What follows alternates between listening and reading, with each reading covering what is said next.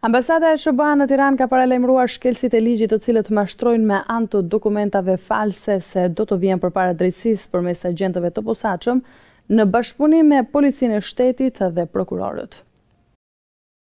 Në kuadër të luftës kundër korrupsionit, Ambasada e Shteteve të Bashkuara në Tiranë ka angazhuar agjentë dhe hetues të posaçëm për të goditur mashtrimet me anë të dokumenteve. Me anë të një video në rrjetin social Facebook, selia diplomatike njofton se është në bashkëpunim me institucionet shqiptare për të çuar përpara drejtësisë kriminelët, përgjegjës për prodhimin, përhapjen dhe blerjen e dokumenteve të falsifikuara. Qeveria e Shteteve të Bashkuara është e përkushtuar në luftën kundër korrupsionit dhe respektimin e sundimit të ligjit në mbarë botën. Lufta kundër korrupsionit është prioritet i punës së Ambasadës së Shteteve të Bashkuara në Tiranë. Ambasada thekson se ky lloj mashtrimi kërcënon integritetin e vizave dhe pasaportave të Shteteve të Bashkuara të Amerikës si dhe lehtëson krimin monstruoz të kontrabandës dhe trafikimit të njerëzve. Nëpërmjet partneritetit të ngushtë të Shteteve të Bashkuara të Amerikës me Shqipërinë, agjentët dhe hetuesit të posaçëm në bashkëpunim me Policinë e Shtetit dhe prokurorët kanë shkatërruar disa rrjete të dokumenteve të rreme duke çuar në arrestimin dhe ndjekje penale të shumëfishta.